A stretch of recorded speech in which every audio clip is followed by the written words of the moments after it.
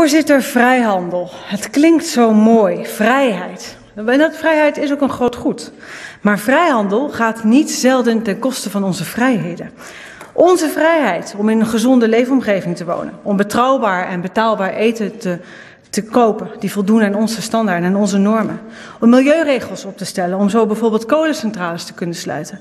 Deze vrijheden worden bedreigd door vrijhandelsakkoorden als CETA en TTIP.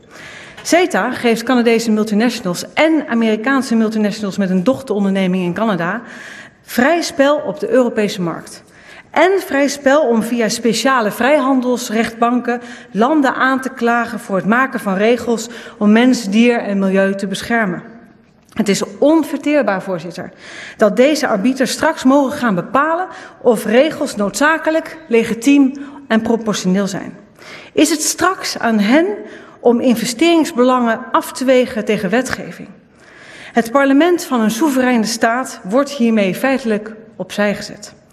CETA spreekt wel over het recht van de overheid om regels te maken, maar wel in lijn met de CETA-bepalingen. En dan moet de buitenlandse investeerder ook nog eens gecompenseerd worden.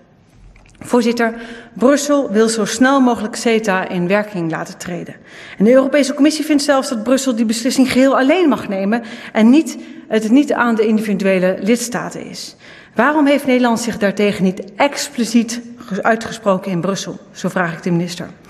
Dankzij het verdrag van Lissabon, waar Nederland massaal nee tegen heeft gezegd in 2005, zou het mogelijk zijn om delen van CETA in werking te laten treden zonder dat de lidstaten daar maar iets over te zeggen hebben.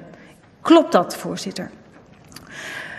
Het is noodzakelijk dat het Europese Hof van Justitie om advies wordt gevraagd of het omstreden uh, geschillenbeslechtingsmechanisme, het investeringsbeslechtingsmechanisme, die, die vrijhandelsrechtbanken, of die eigenlijk wel juridisch houdbaar zijn. Is de minister dat met ons eens? We overwegen ook een motie op dat punt. Voorzitter, veel mensen hebben de petitie al ondertekend tot het houden van een volksraadpleging. Het kabinet of het parlement kan echter zelf het initiatief nemen om zo'n referendum te houden. Net als dat we dat hebben gedaan voor de Europese grondwet. CETA mag niet in werking treden zonder dat eerst het parlement daarover stemt en het volk daarover geraadpleegd is. Immers, de vrijhandelsverdragen zetten het parlement voor een groot deel buitenspel. En dat maakt het noodzakelijk dat alle burgers zich daarover moeten kunnen uitspreken. Dit gaat, voorzitter, over de soevereiniteit van onze parlementaire democratie. En voorzitter, dankzij het toenemende protest van een zeer groot deel van de Europese bevolking en bedrijven en boeren wordt het draagvlak voor TTIP steeds wankeler. Europese Commissievoorzitter Juncker meent niet zonder een herbevestiging van het mandaat van alle lidstaten te kunnen. En hiermee wordt duidelijk dat het bestaande mandaat niet volstaat. In die onzekere situatie is ontijdige inwerkingtreding van CETA niet te verantwoorden, evenmin als dat het geval zou zijn bij TTIP. En daarom wil ik het kabinet vragen in Brussel te pleiten voor een pas op de plaats.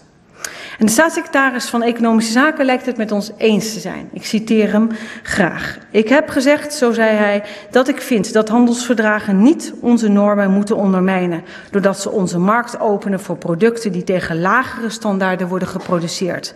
Dat ondermijnt het level playing field en onze inspanningen. Einde citaat.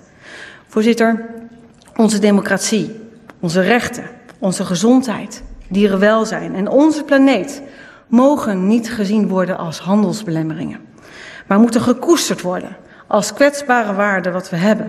Dat is niet in geld uit te drukken. Aan CETA en de TTIP-onderhandelingen moet een einde komen.